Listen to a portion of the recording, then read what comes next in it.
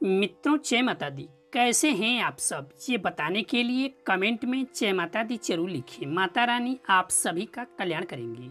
मित्रों, वर्ष 2024 में गोगा नवमी कब है? जानेंगे इस वीडियो में।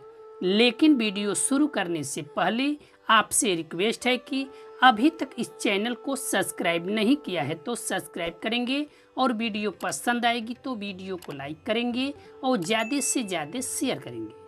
मित्रों, गोगा नवमी प्रत्येक वर्ष भाद्रपद मास की कृष्ण पक्ष की नवमी तिथि को मनाया जाता है।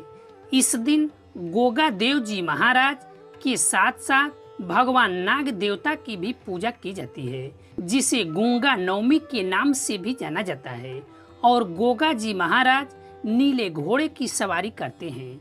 ऐसा माना जाता है कि गोगा देव सांपों से जीवन की रक्षा करते हैं गोगा नवमी के दिन जहाँ वीर गोगा जी की पूजा करने से, गोगा जी महाराज सर्प के काटने से हमारी रक्षा करते हैं।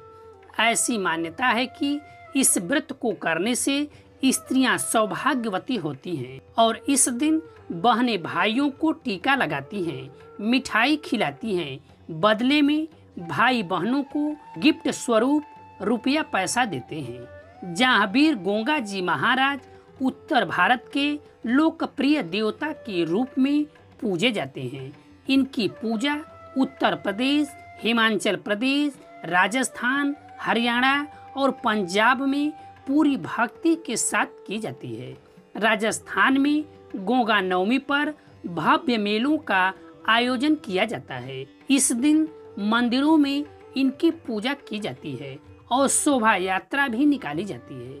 मित्रों अब पूजा करने की विधि को भी जान लेते हैं। जो इस प्रकार है, मित्रों, गोगा नवमी के दिन दीवार पर गेरू से पोतकर, दूध में कोयला पीसकर, चाकोर घर बनाकर उसमें पाँच सर्प बनाते हैं और इन सर्पों पर जल, कच्चा दूध, रोली चावल, बाजरा, आटा, घी, चीनी मिलाकर चढ़ाया जाता है और पंडित जी को दान दक्षिणा दिया जाता है।